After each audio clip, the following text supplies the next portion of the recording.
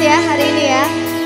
Setelah bertahun-tahun akhirnya menjadi sepasang suami istri. Di suatu hari tanpa sengaja